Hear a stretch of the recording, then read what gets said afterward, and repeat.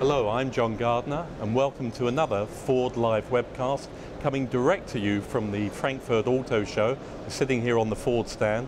Today we're going to be talking about another important technology in the European automotive marketplace, all-wheel drive technology. And to help to explain this technology and its place in the market, to the audience. I'm delighted to say that I'm joined by Derek Ward, who is Ford of Europe's technical expert for all-wheel drive systems, and also by renowned UK journalist Hilton Holloway. So, gentlemen, welcome and thanks for being with us today.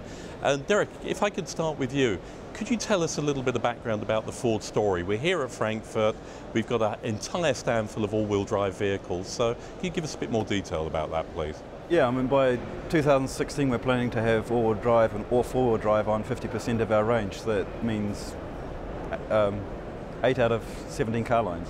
So that's Kuga, S-Max, Galaxy, Mondeo, Transit, Ranger and Edge. And we think it's something that, that gives the customer an everyday benefit, comfort, safety, confidence in that. So almost a system for every Ford customer out there potentially. Yeah. Pretty much, yeah. And, and, Hilton, if I could ask, I mean, the, I think the situation for a lot of people is they understand about four-wheel drive systems and what they mean in terms of off-road capability. But can you say a little bit about all-wheel drive systems and what that means for customers that say buy a Mondeo or an S-Max? How does that enhance their driving experience? Oh, quite, quite a great deal. I'm, a, I'm personally a big fan of what I call road-going uh, 4x4. Um, I've driven so many cars over the last 20 years, and really having having all-wheel drive, the ability to put the power down on all four corners of the car is it's only when you experience it that you realize how useful it is. So um, obviously in bad weather you have to make an overtaking maneuver, the road's not very smooth, there's uh, cameras going the other way. Those just it'll be four or five seconds when you're overtaking and you realize wow, this, this car is really stable despite the weather, despite the road conditions. It's sitting down, you feel very confident, you know where it's going. And once you've, once you've experienced that a few times, it's quite hard to, to give it up, really. And how's the market changing in Europe in relation to all-wheel drive technologies? I think it's actually the, the, the uh, it's, it's rising up. It's about 15% uh, uptake, I think, across across Europe for, for, for most most cars. About 50% for the for the big SUVs.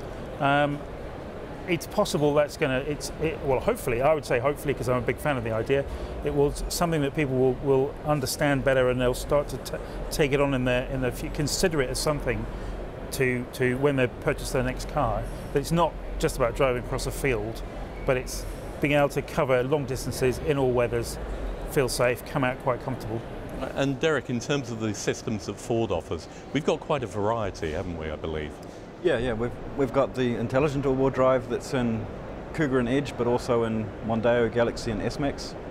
Um, it's a system that uses a clutch to actively send torque to the rear axle when needed, but only when needed. So if, if, if the system detects the driver driving in a sporty manner or slippery roads or so forth, it starts distributing the torque as needed, but if it's not needed, it gets out of the way and improves our, our CO2 and fuel economy balance. Then we've got intelligent all-wheel drive and transit, which sends torque to the front axle instead of to the rear. Transit's a base rear-wheel drive vehicle. And it has an extra lock button for more extreme situations off-road. Um, then there's the Ford Performance all-wheel drive and the Focus RS. Brilliant, brilliant system, brilliant car. There we can individually balance the torque between the rear wheels to help turn the car into the corner or straighten it out of the corner again to, so we can accelerate right on, on, on the limit. And, and, and finally, um, the switch on the fly system yep. in Ranger, the serious off-road um, system, um, push button on the fly in, into 4, 4 high, up to 120 kilometers per hour, and it's, it's got a low range as well for when, when the going gets really tough. In terms of Ford sales of all-wheel drive technologies, are we seeing those really feeding through into the marketplace? Are we seeing a, a rise in sales? Yes, we are. Um, 2014, we sold 46,000 passenger cars with with all-wheel drive.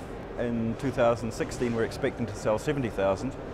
And if we factor in the um, commercial vehicles as well, it's, it's looking to, towards 100,000 all-wheel drive vehicles in Europe. So. And Hilton, just one final question on all-wheel drive. You say that about 15% of vehicles overall are now sort of coming with all-wheel drive technologies. Do you envisage a time when perhaps in the future this will almost be an entry level kind of technology and that virtually everything will have all-wheel drive fitted to it?